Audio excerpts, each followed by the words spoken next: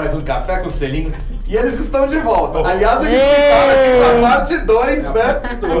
O Sérgio e a Majô, porque, Tamo nossa, aqui. aquela história foi fantástica. São muitas histórias, muito o pessoal tá adorando, né? Não é? Tem Muito que ter a legal. parte 2, né, Sim, a vida tem, vai dando muita história pra gente. Não é? Boa. Você nos contou da pandemia, né? Sim, de Barcelona, pandemia, incrível. Barcelona, do Nossa, de Dubai, né? Isso. E agora tem uma história aqui nacional, no ABC, Não, né? unbelievable. Essa, essa, Essa é, é- pra essa fechar com é chave de ouro, gente. Vocês têm que Calma, prestar atenção. Chave de ouro vai ser a última. Vocês depois- têm que prestar atenção nessa do- história. do- do- Você é, não vai é. acreditar no que vai O acontecer aqui. Para acontecer. tudo, para tudo. Para tudo. Para tudo que agora vem. Bom, Gustavo Célio, né? Estava eu, né? Eu também trabalho muito pelo ABC, atendendo É. os, os comerciantes do ABC no hipermercado. E com frequência sempre estava nos finais de semana no hipermercado. Uhum. Né? O mercado da época que 95, 97 era bem lotado, né? Era aquele programa de sábado que ia todo Todo mundo, mundo, né? É. Aquela- tinha aquelas pilhas de arroz assim, você via o pessoal escalando a pilha de arroz, saía até fumaça, até pó assim no corredor de tanto cliente que tinha. né? É, é. Então, aquele sabadão, aquele sabadão que chama sabadão sertanejo mesmo, né? É. Bah, tava lá, o cliente chamou, vamos lá. Aí tava lá, eu estava com frequência sempre naquele mercado, é hipermercado, não, no ABC. É.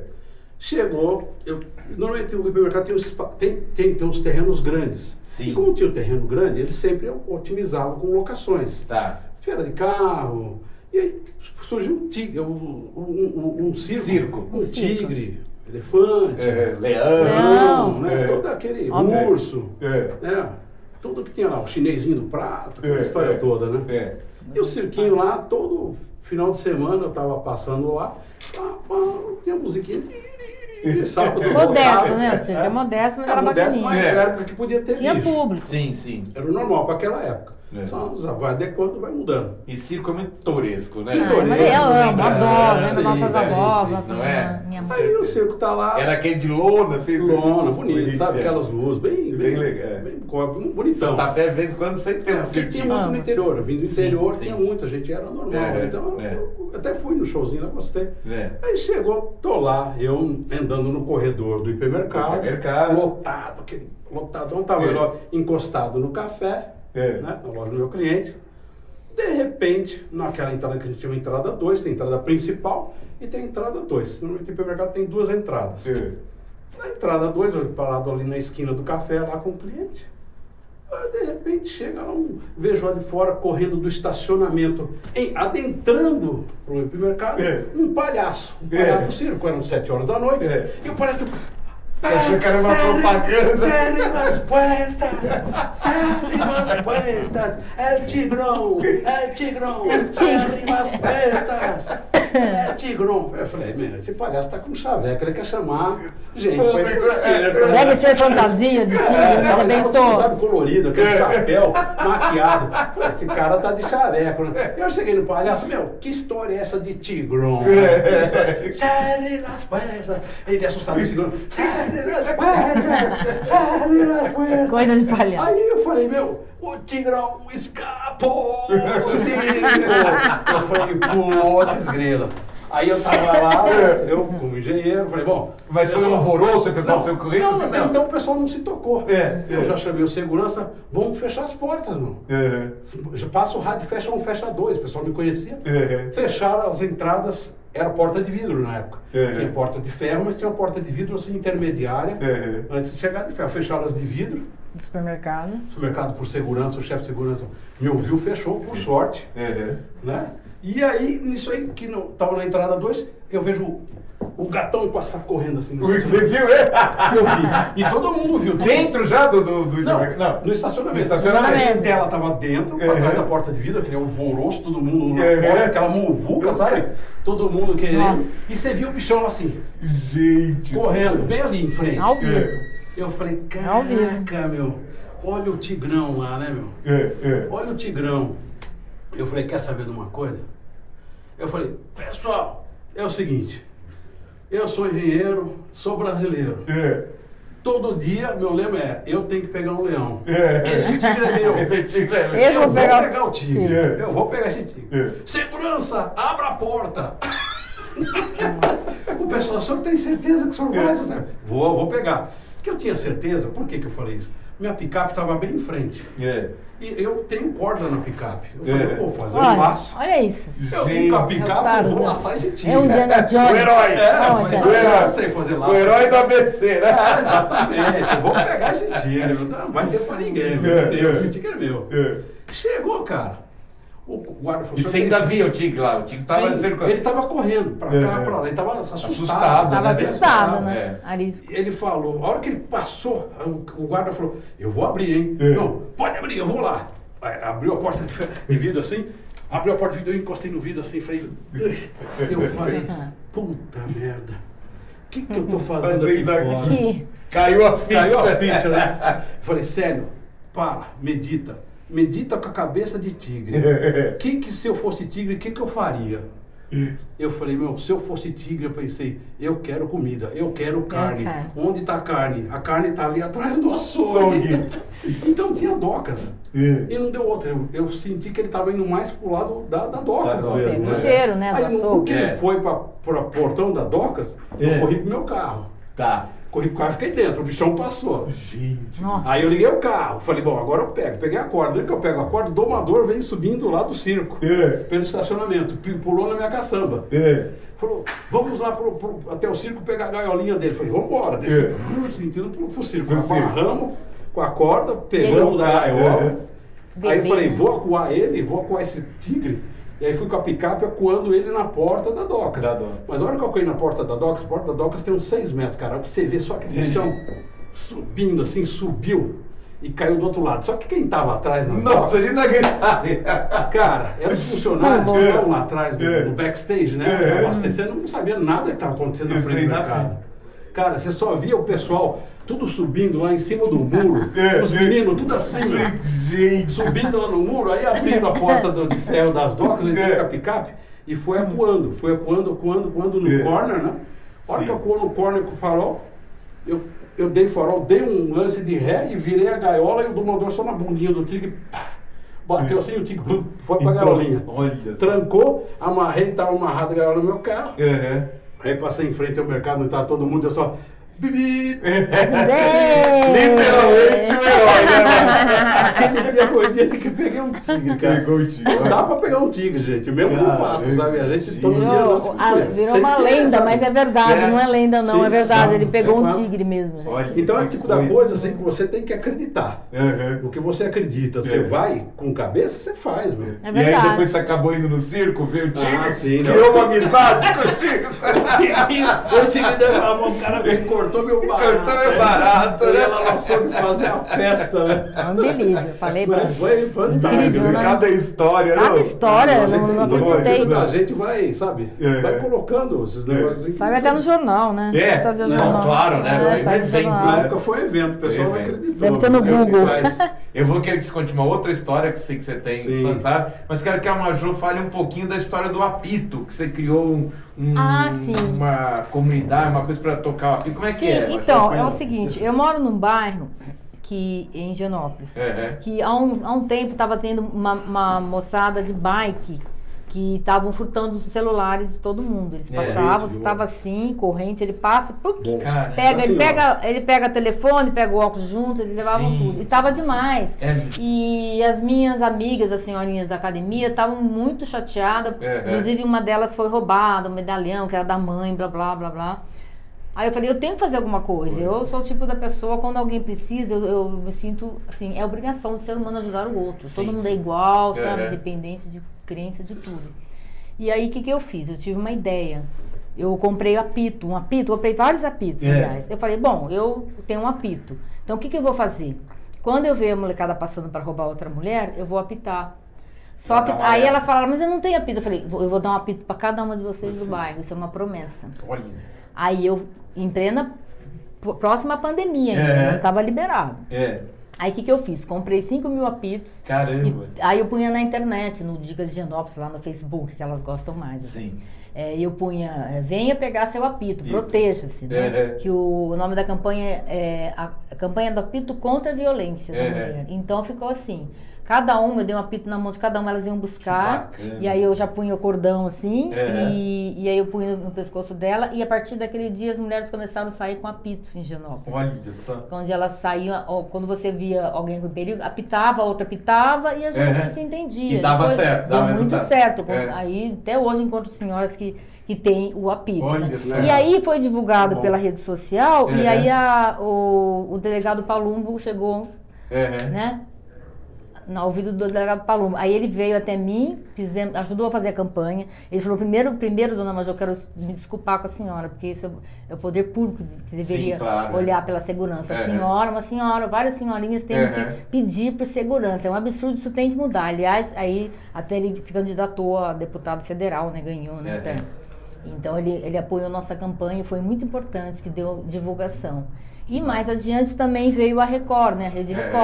Aí eu perguntei pra ele, como é que vocês ah, me acharam, né? Porque É. eu sou dona Maria, dona de casa, fiz pras amigas, né? É. Aí ele falou, não, a gente vai na rede social e vê quem que tá causando. Olha só. É. Aí nós vimos que você causa na, na Dica de Genópolis. É. É, a gente tenta ajudar, né? Sim, sim. E aí com esse apito eu fiquei conhecida como Major da campanha do apito Olha que lá, legal, né? né? Uhum. E aí, aí surgiram outras coisas. Eu comecei a observar com o tempo, na época da pandemia, que, que tinha muito lojista que estava perdendo as lojas. É. Tinha um seu José o sapateiro, aonde do bairro, aonde todo mundo, quando foi pequeno, a mãe levava para arrumar o sapato, o pai, e ele estava falindo porque não tinha cliente nada, né? É. Aí eu fui lá, fiz a campanha para ele também. Falei, É. a campanha da Pito vai ajudar, ajudar o seu José. E aí eu sei que apareceu um monte de gente para ajudar e eu só pedia que fosse levar o sapato para arrumar. É. Porque começaram a querer me mandar dinheiro. Eu falei, não, meu, minha vibe não é essa, não quero É. dinheiro. Não, mas eu faço questão, eu tô em Portugal. Eu falei, se vira, eu não vou aceitar dinheiro. É. Você sabe, né? É. É chato. É. Aí todo mundo começou a levar o sapato lá, teve fila e ele se recuperou. Ah, é, bacana, hoje ele né? até se aposentou. Teve fila lá. É, aí ele eh, tinha um filho que tinha uma sócia, tinha uma menina, e eu encontrei com ela, falei, Carol, por favor, você tem que pegar essa sapataria, porque você é uma empresária, um negócio da família. É. Ela era dançarina, não sei, da época do SBT. É. Eu falei, não, isso não vai dar futuro. Você tem que. Você é uma empresária de sucesso, você vai entrar numa faculdade, você vai fazer um curso, Carol. Aí eu sei que foi um sucesso. A menina hoje está lá, se formou. Tocou o negócio. Sabe? Tocar é. o negócio do pai. O negócio É era claro, dela. né, e ela né? perdida, Sim, sim, dançando, sim. fazendo É. show. Não tinha nada a ver com ela. É, a mãe dela é, entendi. é tá Então, eu acho que é isso. A gente tem que ajudar as pessoas, né? É Com obrigação certeza, nossa, é né? Imagina a sua humano. satisfação de ver Nossa, que eu adoro. levantou né, o negócio Eu dele, adoro né? até hoje. Qualquer É. ser humano que precisa de mim. Não é? é tão bom fazer o bem, né? Não é? E às vezes custa tão pouco ou quase nada, não é É verdade? só um pouco é? de empenho, né? Não é? É verdade. Empenho, É. atenção, carinho. É, é. Às vezes você Né, tá o precisamos- passando. Hoje. Não é? Carinho, empenho, atenção. É, Não é? Ponto. Pronto. É verdade, é é básico. obrigação nossa. Eu acho É. que tem que todo mundo fazer isso. O mundo seria melhor, né? Com um pouquinho certeza. de cada um, né? Não é? E o pessoal, ainda tem gente com apito lá? Sim, tem, tem sim, ó. Você tem aí o apito? Aqui, ó, Toma o aqui. apito. Gente com apito, Tá em perigo? Não existe apite. Se você Karina, perigo, ó, Karina, vai lá, de apite. Tem que ter, gente. É Além de Karina. tudo, além de ser apito, ele tem outra função. Você faz assim, se Deus me livre, se alguém chegar, você bate. Isso aqui dói pra caramba. É. Ó, Ó, não dói? E outra coisa, você pode usar, por exemplo, assim. Eu tô em casa, se eu vejo no outro prédio alguém gritando, mari- briga de marido e mulher, eu apito, eles param na hora. É. Um dia desse eu também saí na janela e tinha um cara tentando roubar um carro, Um em frente ao carro. hotel. Sério? Aí eu manhã. peguei, prrr, e ele saiu correndo. Saiu, que assusta, né? É, Assusta, e por assusta. último, e não mais importante, quando tem senhorinha atravessando a rua, que o sinal está aberto para o pedestre, pedestre, é, é. sempre tem uma bike. Então eu apito para ela prestar atenção Isso e o é- cara também. entendi. Então eu apito eu não sabia, mas tem várias É, uma- Mas maravilha. É a aí. pena, Toma né? ajuda do apito, né? Major da Pito, ficou Major da Pito, né? Lembrança. Maravilha. Parabéns, Valeu. viu, pela sua iniciativa e pelo resultado, né? Sim. É. Agora a história da sogra. Tem da sogra. Tem da sogra por exemplo, tem da NASCAR também. é Vocês vão dar tempo, mas vamos dar sogra então. Bom, bom, todo mundo tem sogra. Sim. Né? Alguns anos, ou É. mais ou menos, outros É, não. é. Minha sogra, eu sempre cuidei bem dela, né? Eu sou, É. fui vi- fiquei viúvo. É, né? não é a mãe Não, da não. Major. Não, não. tá? É a sogra número um que eu chamo. Número um, Eu tenho- é, é. tenho Ele era viúvo e eu me casei com é, ele. Eu conheci de infância. sogra número Tá. um, né? É, é. Sempre que cuidou muito bem de mim, da minha esposa, do meu filho. Minha esposa se foi, né? Porque É, era é. diabética, teve problema de doença tudo mais. Sim. E minha sogra, desde o começo, sempre cuidou do, do meu filho. É, Minha é. esposa sempre tem que ter intercorrência, eu corria sempre com ela cuidava da minha esposa. É, E sempre minha sogra acabou morando, casei e casei com a sogra. Veio É. pra casa, né? Sim, Já sim, Veio, vim com o pacote completo. Completo. E sempre cuidei muito bem da minha sogra. Falei, É. a senhora tá aqui, liberdade total, né? É. Então, e com o decorrer dos anos, infelizmente, perdi minha esposa, né? É. Foi isso em 2005, acabei perdendo minha esposa após um fiz doação do meu rim em 1999. Caramba. Até É quero verdade. falar para quem puder Doador doar rim, É. não tenham medo. Rim com um rim se vive muito normalmente, bem. né? Normalmente, eu estou É. super bem, você É. entendeu? Tenho qualidade de, vida, qualidade de vida muito boa. Boa. Doutor Medina, que é o meu médico fantástico do Hospital do Rim, é o, Ah, é o é médico muito que. É, é. Doutor É em rim. filantrópico, Eu né? indico. Doutor Medina, ele é um É. médico expert em rim. Doutor Medina abraçou a causa da minha esposa por ser diabética. É, é. Falou, Célio, nós vamos salvar a sua esposa. Quem é o doutor? Eu falei, sou eu. Já de bate pronto para ele. É, Eu falei, mas como é que você sabe? Doutor Medina, eu sou engenheiro. Engenheiro trabalha na frente. É. Já fiz todos os exames. Tá, porque que tem que ter a precisa. compatibilidade, É, tem né? que dar o crossmatch, que chama. Tá. Tem que dar compatibilidade. Entendi. Na minha compatibilidade, ele falou, eu vou fazer a última checagem, É. estava dando 80%. É, é. Falou, você tem todas as chances de Pra doar o rim doador para sua esposa. É, é. Pode marcar cirurgia. É, eu é. sou decidido. Tá certo. E assim aconteceu em 99, em abril É, é. de 99. Eu falei, doutor Medina, é, é tudo ou nada. Ele falou, É. em função da sua esposa, a gente vai desenvolver um novo remédio.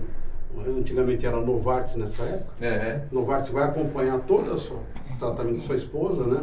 O exame É. de sangue vai todo dia para os Estados Unidos para a gente desenvolver um novo remédio para essa, essa linha de diabéticos renais, né? Entendi. Ótimo. É tudo ou nada. É, Agora. é. E nessa daí, sucesso total, transplante, vida certo. normal. É. Só que infelizmente a vida é assim. Sempre preparei meu filho, né? Falei, filho, eu tinha sete anos na época quando foi o transplante. É. Falei, filho, Deus vai dar mais uma chance para sua mãe.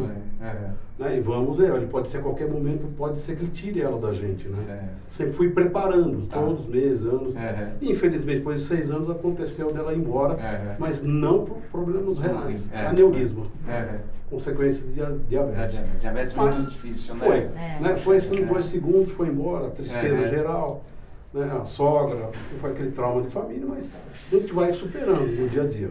Não entendo E cuidei, falei, minha sogra ficou assim, e agora? Eu não tenho mais minha filha aqui, estou morando na casa do Célio, é. né?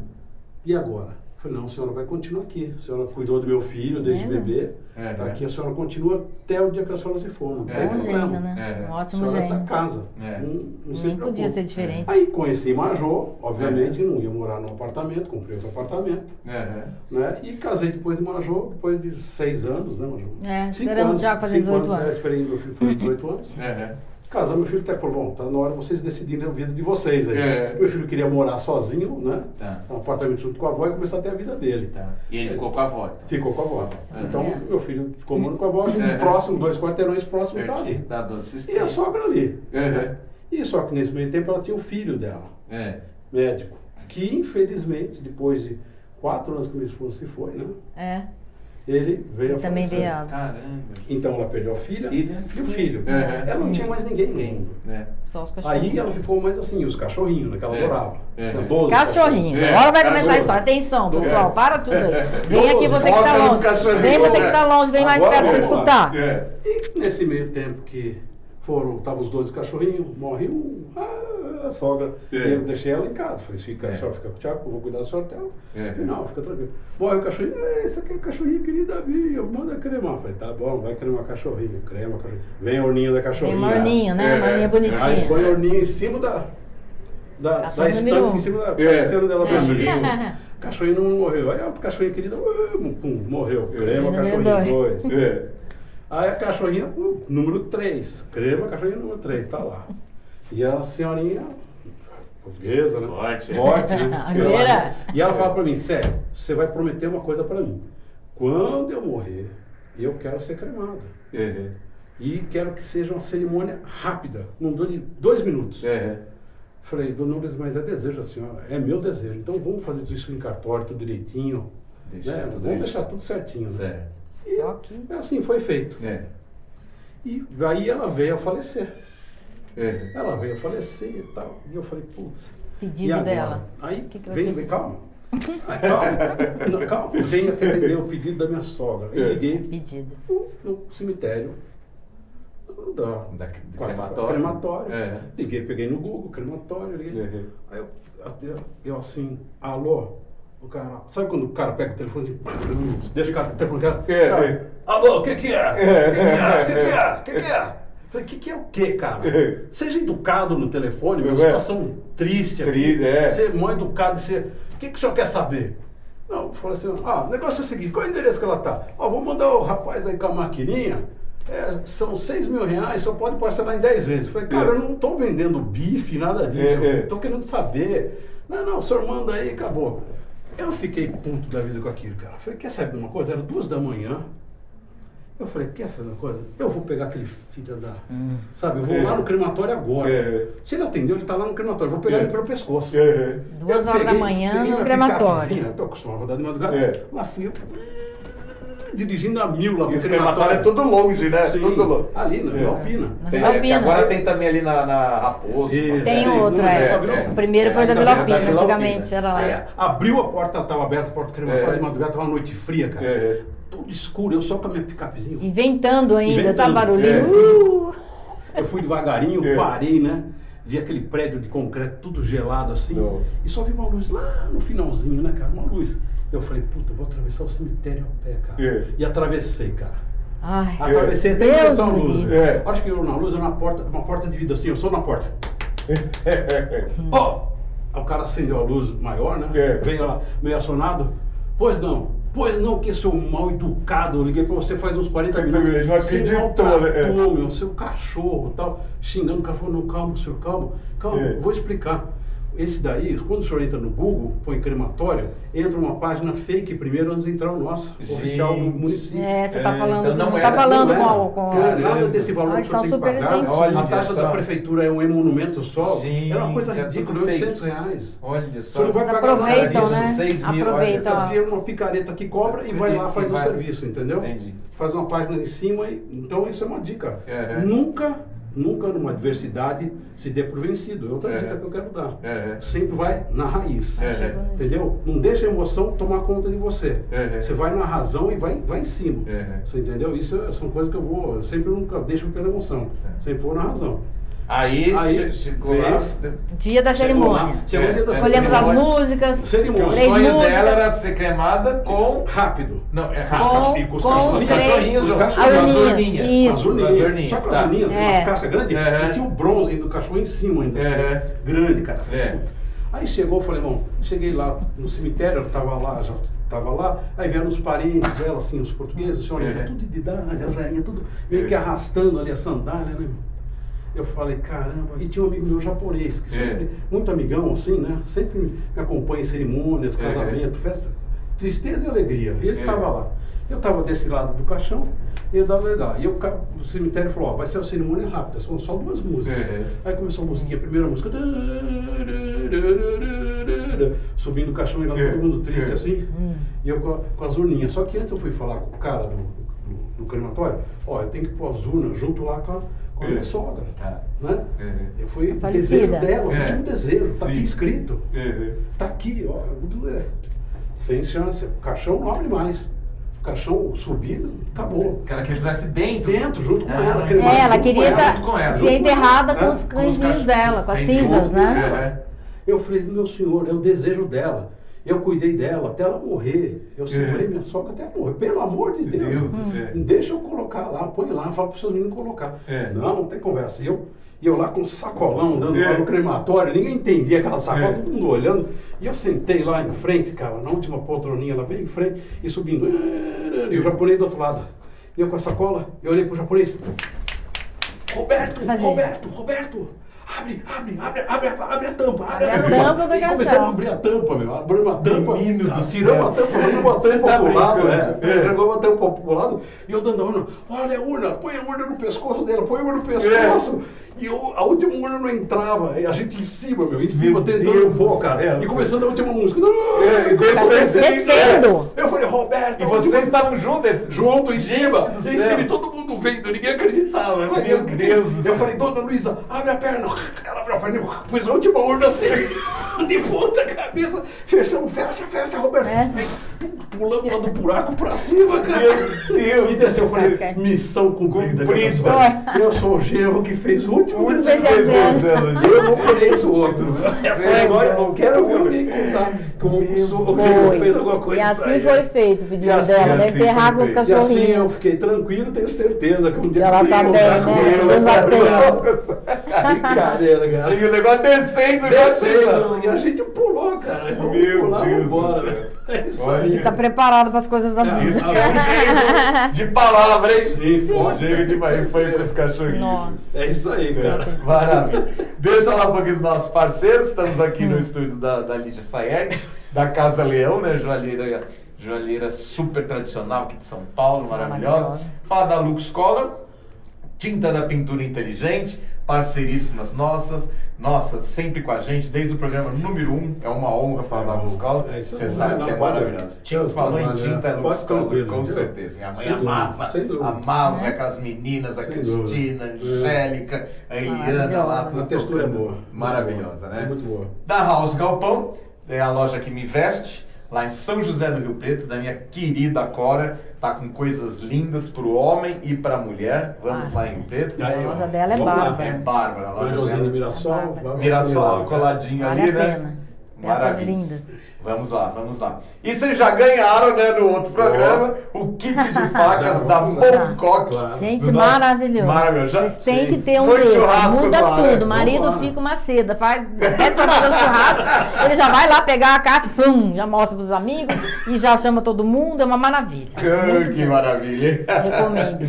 Isso aí, fazer um churrasco e contar as histórias. É, né? contar Tem história, que ele mais tem, né, Major? Tem que ter um churrasco. Tem mais, tem mais, tem mais.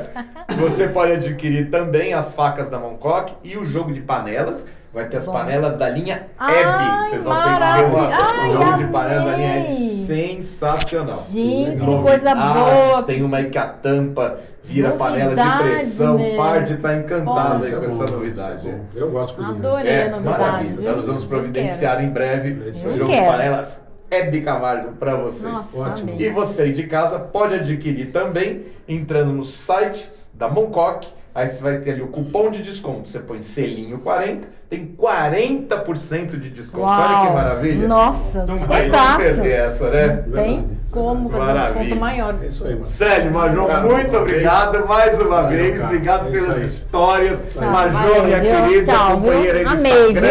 viu? Bom, Vamos viu? junto, viu? Vamos fazer novas parcerias. Vamos né? sim, vamos sim. Ajudar o pessoal. Hoje ficamos por aqui. Aí. Semana que vem estaremos juntinhos com mais um Café com.